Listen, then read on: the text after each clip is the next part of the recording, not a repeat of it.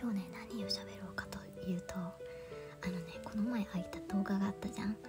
あの動画がねすんごいなんかあの炎上というか炎上まではいかないけどさめちゃねなんか戦ってたからさ一旦あの動画非公開にしたんですよ。そう。ねどうしようかなと思ったんだけど一旦非公開にさせてもらったんだけどすごいねあのいろいろ言われたんですよ。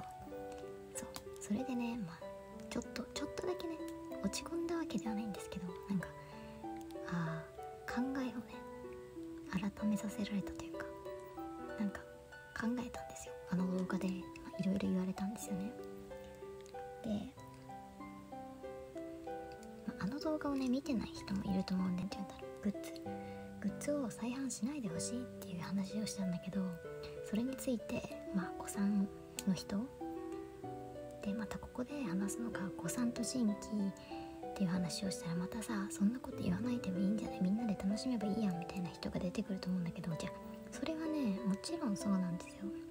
それは本当にそれが最善策というかのは前提ですよ。それは何にも変えられないけど何て言うんだろうな。再販一応再販についての話をしたんですけどそこでうーん、まあグッズの再販は嫌だよねっていう話をしたのよね。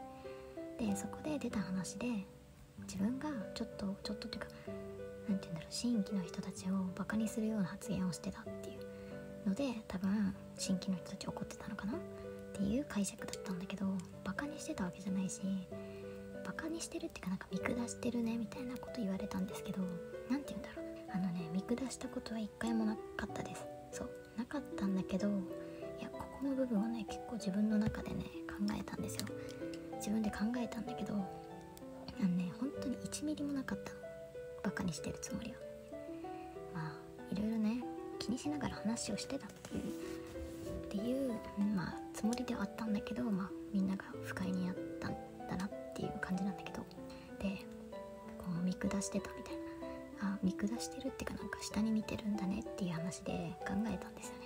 私はそんなこと1ミリも思ってなかったけどあの発言によってそう聞こえてしまったってことはって思ってはないとしてもその発言をするってことは思ってるってことじゃないですか。そう。だからまあ結果的に思ってたんだなっていうこういう自分がいたんだなっていうのを確認して再確認してああこんなことになってしまってたんだって自分と思って。そう。なんか嫌な嫌な人格がというかさ嫌な嫌な人格が出てきちゃったなっていう思いがあってなんか、ちょっとなんか距離を置こうかなって考えたりもしました。あそうまあ一応、まあ、悪いとは全く思ってないんですけど悪いとは全く思ってないっていうかまあ嫌な気持ちにさせたっていうのは本当に申し訳ないって思ってます。すいませんでした、ね、そう。自分に失望したわけじゃないけど何て言うんだろう。自分に嫌気がさしたっていう話です。なんかね。うん。配慮が足りなかったのかなって思った。そんな動画を出すのはやめようかなって思ったりとか。でもさなんかありきたりな動画を作るのがさあんまり好きじゃないから。最近だとさこういうのただ開けてるだけでもちょっとなんか、うん、つまんないなって思っちゃうようになってるのね。だからさ何か新しいこと求めていってるからいろんなこと言いたいなって思うけどさいろんなこと言ったらまたなんかいいなんかね前髪短？おにぎりみたいじゃない？おにぎりが。そうなんて言うんだろうな。この前の動画は、まあ、一応自分にも悪気はなかったけど嫌な気持ちにさせたっていう。コメントもたくさん来てたんですけどああなたの動画ははっきり物を言ってくれるので好きなんですけどこの話のここは全然理解ができませんでしたとか。丁寧に言ってくれる方も結構いたんですけどなんかそういう人たちに対してなんかああそういう思いに何ていうそういう感じで伝わってしまったんだなっていう気持ちがちょっと申し訳ないなって思ったからさちょっとこの動画で話そうと思ったんですけどそう。なんかこのままさいつも通りの動画上げるのもなんか気まずくない？気まずいじゃん。そうそういうのはねちょっと嫌なんでねすいませんでしたっていうお話でした。ねこれで終わりです。そうだか結局ね一人なんてんだ。周りをね気にし始めたらダメなんだよね。そう。周りを気にし始めたら人間終わりだと思うんだよ。そう。そう。自分的にもねそのモチベそのルールで生きてきたはずだったんだけど最近結構ちょっとね一旦元の自分に戻ってあごめん刺した。元のね自分に戻ってみようと思います。ね。そうですよね。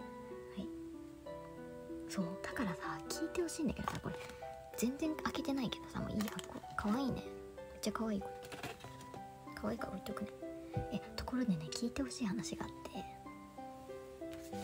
じゃーん。見て。そう鬼太郎。てか今さ知ってますか？皆さん。鬼太郎めちゃくちゃ流行ってんのよ。知ってた？そう。なんかねまずじゃあまずね。まずあのまたさんアピールって言われるかもしれないけど自分は鬼太郎がね好きなんですよ。昔からねなんかアンパンマンとか見るじゃん。でまあちっちゃい頃さプリキュアとか見てだからアンパンマンプリキュア鬼太郎みたいな感じの育ち方をしたのね。鬼太郎トム・ジェリー稲妻イレブンこんな感じの環境で育ったんだけどなんか鬼太郎がねすごいね好きなんですよ。だからねこれもね見に行ったんですけどすごいねいい映画なのね。いい映画ってかいや違うんだよね。うん。何て言うんだろう。ネタバレをしない程度に言うとなんかクソみたいな映画なんですよ。話の内容的には。でも見る価値はマジである。オタクはね絶対好きなの。それだけは言えるからちょっとあの誰か見に行ってください。であそう。で見る時ね「鬼太郎何も知らないよ」って人がいますよね。その人たちはえっとね鬼太郎がねこの鬼太郎いいんじゃん。こいつ鬼太郎って言うんですけどでは一応手で話すとこれ鬼太郎ね。で鬼太郎のここについてる。この目ん玉が目玉の親父です。これは親父さん。これね親父さん。でこの後ろにね映ってんのがね見て。ここにイケメンがね2人いるの分かりますか？このイケメン2人がね今回の主人公なんですけども鬼太郎はね全くと言ったほど出てきません。